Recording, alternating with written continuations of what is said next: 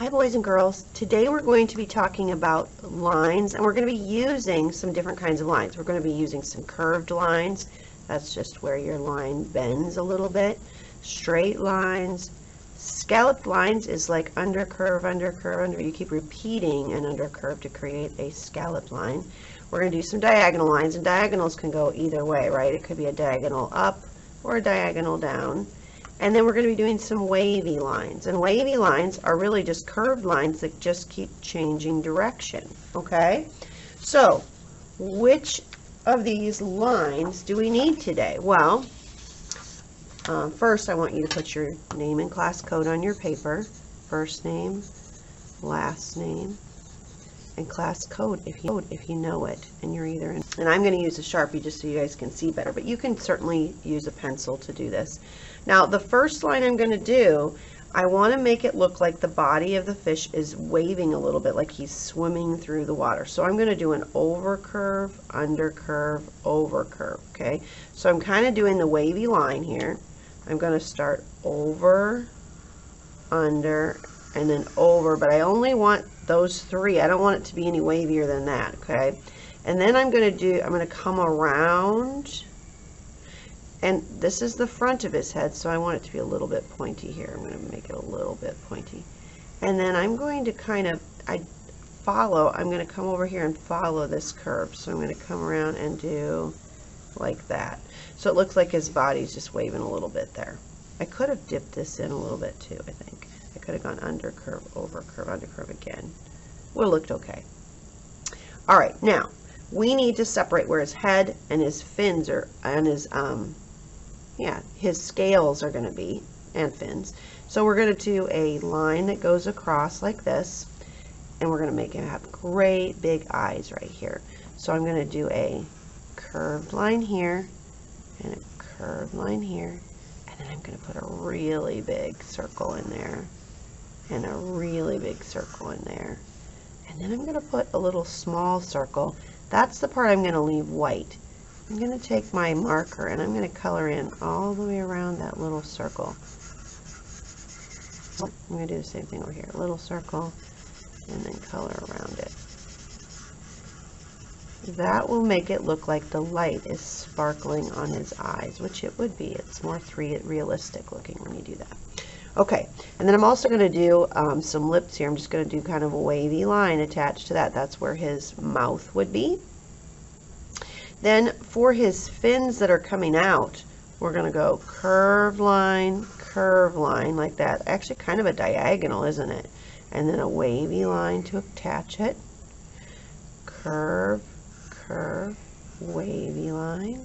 And then I'm going to put some diagonal lines coming up in here make it look like it has um, a few, I don't know, a few lines. Then I'm going to follow the curve of his back. I'm just going to do a line that goes like this. And I'm going to do a slight wavy line above it. That's his fin that's on top of his body because we're looking down at him in the water. Then for his tail, I'm going to start right about here and come down, and come down, and then I'm going to do a wavy line across to connect it. If you want, you can put some diagonal lines coming down from that. Okay. And then our, our last one we're going to do is the scallop for his um, scales on his back. So I'm going to start here along this straight line and I'm just going to scallop here. And I want you to do big scallops. Do not do small ones because you will never be able to get yours done. It'll take too long. So I only have four scallops there. That's that's a pretty good number, four or five, probably not more than that. And then on your second row of scallops, you're going to start in the middle of this one and connect it to the middle of this one, just like that. And then you're going to do that here, except I'm going to jump over his, I don't want to draw a line through my fin, okay? So from the middle to the middle. And then when you get to the edge here, you're just going to do like half a one there and half a one there.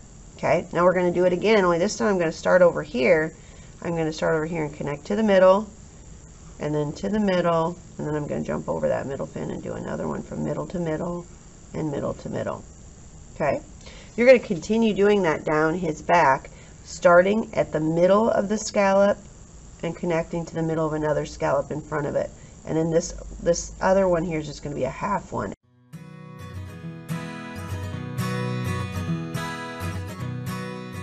I'm ready for my oil pastels. Now, as we saw when we looked at them, koi fish are typically warm colors, right?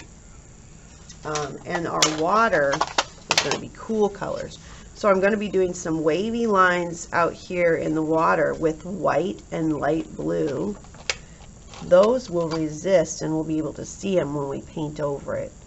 You could if you could even probably use the dark blue if you wanted to have all three colors in there. And then when you paint the blue over it, some of this you'll be able to see and some you won't. Some will just look like a um, ripple in the water. Okay. And then for your koi fish, you can choose whatever you want, but they are kind of bright orangey yellow um, colors. So I'm probably going to pick oranges and yellows and things like that. Even this peach would be kind of cool. I think I saw some of that in some of them. Um, so you can do whatever you want, but you're going to use that to add some designs to this. So I'm just going to do, I'm going to follow the pattern of my uh, scales and just do another another curved line in there. You could do um, lines that are going a different direction if you wanted to, but go ahead and fill in a few different line designs inside your koi fish.